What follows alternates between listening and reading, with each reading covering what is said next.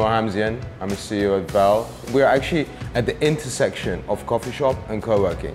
And VEL is this idea that home isn't good enough. You may not have an office. Where do you go? So we created VEL from the ground up to support that flexible, dispersed, hybrid workforce. We said, what is the brand? What are we trying to do? Are we selling coffee? Are we selling space? But ultimately we decided we sell experience.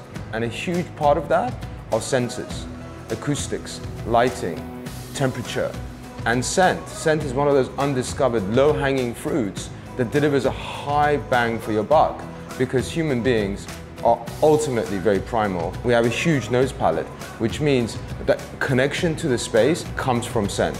So we decided researching into that, investing into that, and we came across your firm, Prolitec. Prolitec did a lot of hand-holding in the beginning to make sure that we find the right path. I mean, the company they decided to actually review our entire brand guidelines, our culture book, the brand personality to help us find a scent. It had to do several things. One, support coffee.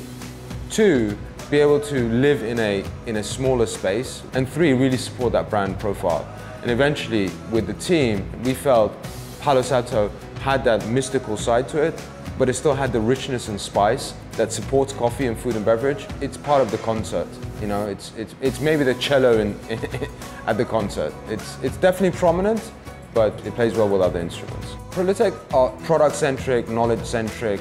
You really care about uh, the, ultimately the brand, and you are a, almost a brand partner in that product experience, and you really want to learn. So you are scent developers, for sure, but you're also activators. And in terms of just general day-to-day, -day, it was communicative, um, it was non, it was non-pushy, it was much more about let's get this right, um, and and the cost is not prohibitive at all. It's it's uh, yeah, it's it's a very easy decision to have made. So it was great working, uh, great working with your team.